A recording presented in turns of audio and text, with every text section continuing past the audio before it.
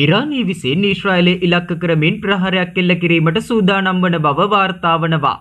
අමරිකානු බුද්ධ්‍යංශ සඳහන් කරන්නේ ඉරානී විසින් ඊශ්‍රායලයට එරෙහිව බැලස්ටික් මිසයිල් උපයෝගී කර ගනිමින් මෙම ප්‍රහාරය එල්ල කිරීමට සූදානම් වන බවයි. ඉදිරිපෑ කිහිපය හෝ දවස තේරණාත්මක වෙන්න පුළුවන්. ඉරානය ඔවුන්ගේ බැලස්ටික් මිසයිල් ස්ථානගත කරනවා කියලා. අපේ බුද්ධ්‍යංශ දැනුම් දීලා තියෙනවා. ඒකෙන් හැඟවෙන්නේ ඔවුන් ඊශ්‍රායලයට එරෙහිව ප්‍රහාරයක් දියත් කරන්න තියෙන සූදානම වැඩි කියලා. අපි තත්ත්වය සමීපව නිරීක්ෂණය කරමින් ඉන්නවා.